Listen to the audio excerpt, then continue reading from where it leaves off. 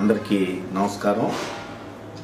నిన్న ఈరోజు ఈ రెండు రోజులు కూడా వైఎస్ఆర్ రైతు భరోసా అదేవిధంగా పిఎం కిసాన్ యోజన పథకం కింద లబ్ధిదారుల ఎంపికలో కొంతమంది అధికారులు గత ప్రభుత్వం సమయంలో చేసినటువంటి సాధికార సర్వే వల్ల గుంటూరు జిల్లా ఫిరంగపురం మండలం వేమవరం గ్రామంలో నా పేరుని లబ్ధిదారుల కింద చేర్చడం జరిగింది.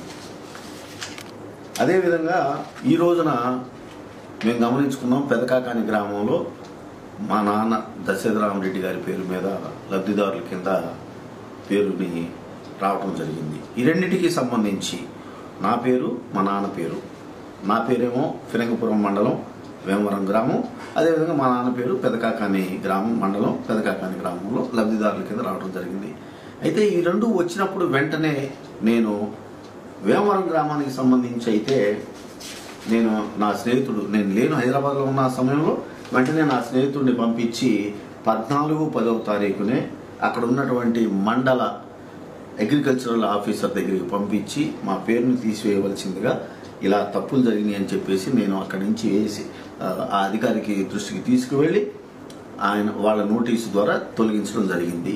మా నాన్నది. మా నాన్నది కూడా వెంటనే పెదకాకాని మండలానికి సంబంధించి అక్కడ ఉన్నటువంటి అగ్రికల్చరల్ అధికారితో నేను ఈ రోజున మాట్లాడే ఉదయాన్నే ఫోన్లో ఈ రెండు కూడా ఎందుకు అలా వచ్చినాయి అన్నప్పుడు సాధికార సర్వే గత ప్రభుత్వం చేసిన దానివల్ల వచ్చినాయి అని చెప్పి చెప్పడం జరిగింది.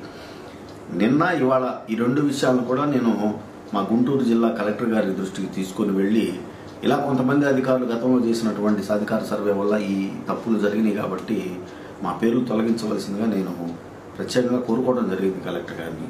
అంతేగాని ఏదో ఆ, పథకం కింద లబ్ధి పొందటానికి ఇవాళ సోషల్ మీడియాలో కొంతమంది వ్యంగ్యంగా నా మీద ఈ మాట్లాడటం జరుగుతూ ఉంది. కానీ ఆ డబ్బుల కోసం కకృతి పడే అంత నీచ స్థాయికి మేము ఎప్పుడూ దిగజారే మనుషులం కాదు.